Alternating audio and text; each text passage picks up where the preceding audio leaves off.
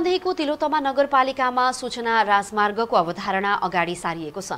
नगरपालिकाले नगर क्षेत्रमा पर्ने सिद्धार्थ राजमार्गको योगीकुटीदेखि कटैयासम्म फ्री वाइफाई जडान गरेको हो। जनतालाई प्रविधि मैत्री बनाउनका लागि र सहजताका लागि बुटवल बेलैया सिक्स लेन व्यापारिक मार्गको तिलोतमा क्षेत्रमा फ्री वाइफाई जडान गरेर शुभारम्भ गरिएको हो। लुम्बिनी प्रदेश सरकार र तिलोतमा नगरपालिकाको संयुक्त लगानीमा सूचना राजमार्ग मार्फत डिजिटल सेवा प्रवाह कार्यक्रम अन्तर्गत फ्री वाइफाई सेवाको सोमबार मणिग्राम चोकमा एक कार्यक्रमका बीच शुभारम्भ गरिएको हो। सेवाको शुभारम्भ गर्दै तिलोत्तमा नगरपालिकाका प्रमुख रामकृष्ण खाडले देशकै नमुना नगरपालिका तिलोत्तमामा स्वदेश तथा विदेशबाट आएकाहरूको र स्थानीयलाई पनि सहज इन्टरनेट प्राप्तिका लागि यो कार्यक्रम शुभारम्भ गरिएको उहाँको भनाइ छ। उपप्रमुख जागेश्वर देवी चौधरीले यहाँका स्थानीयहरूलाई निकै महत्त्वपूर्ण काम गर्नका लागि सहजता हुने विश्वासका साथ यो सेवाको शुभारम्भ गरिएको बताउनुभयो। उहाँले यो सेवाले तिलोत्तमा क्षेत्रमा आउने पर्यटकलाई समेत निकै फाइदा पुग्ने विश्वास व्यक्त गर्नुभयो। योगीकुटीदेखि कोटीहवासम्मको तेह्र किलोमिटर सडकमा